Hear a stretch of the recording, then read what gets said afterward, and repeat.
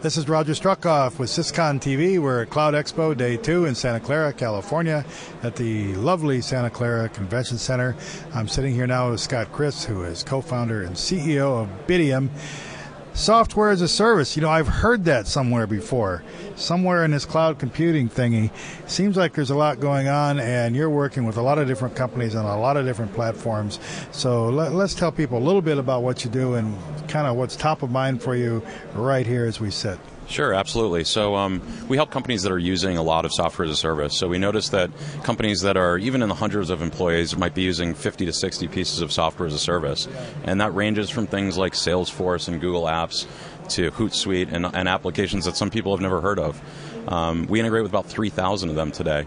And what we do is help their company manage and get gain visibility into what people are using inside the company and decide to secure them or use standards to, in some cases, lock down, but in most cases, to embrace the adoption of, of software as a service inside of the company how the heck does this happen? This sounds like hoarders, you know, or too much of a good thing.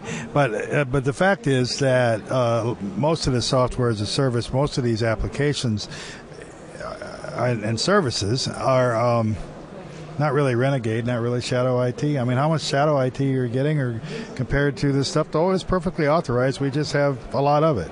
Yeah, that's a really good question. I think a lot of our customers are trying to get their arms around Shadow IT and to decide whether or not Shadow IT is necessarily a good or a bad thing. I think when uh, you know the CIO's role in a company is, is, changing dramatically from being someone that locks things down and tries to figure out efficiency process to really looking at the business units and what they need to embrace what they're doing, and they're almost becoming a revenue line uh, in the company. So, uh, looking at what people are using, deciding whether or not it's something that they want to uh, locked down at the network layer in some cases, which you know we think that's a, a fundamentally flawed way to go about business because the, the, the end consumer, the, the employee will always go around and figure out a way to do it.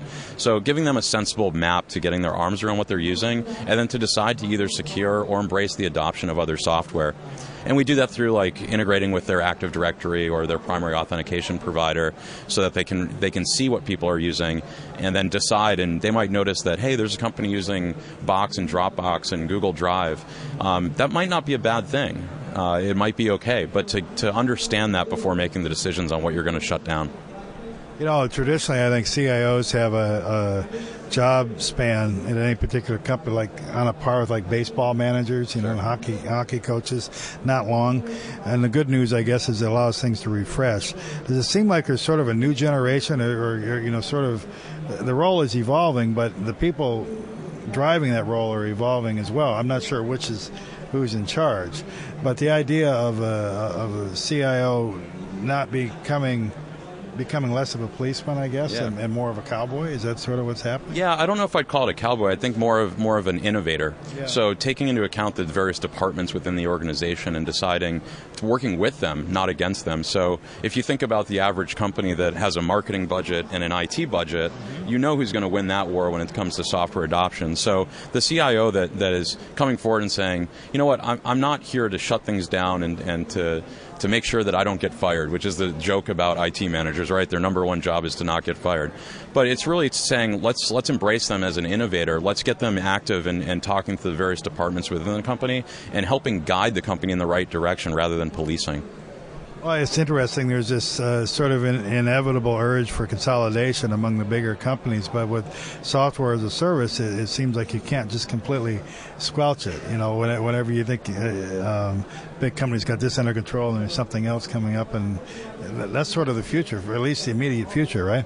Yeah, and I, I think it depends on the application. When you take the core applications in ERP, a CRM, or systems dealing with data, um, those are tend to be more sensitive. Or when you're dealing with compliance issues, where a company needs to be PCI compliant. So it's, it's deciding where that's appropriate for which applications, and which applications it's okay to be a little bit more liberal about the adoption.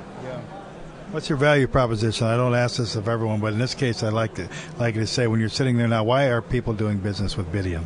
Uh, I think they're doing business with us because we take a slightly different approach to, to, our competitors in the marketplace. Our competitors seem to be about locking the companies down and managing the software as a service, where we also help them manage the software as a service. But we take an, a, a, stance that we believe that you should embrace the employee to adopt the software, uh, get your arms around what that is, and then make intelligent decisions versus trying to um, solve a new problem with an old solution. That all sounds just way too reasonable. So uh, good, good luck, because it, it it may just work. We've been sitting here with Scott Kriz, who's CEO, CEO and co-founder of Bitium at Cloud Expo. Thanks for joining us. Thanks for watching. For SYS-CON TV, this is Roger Strukhoff.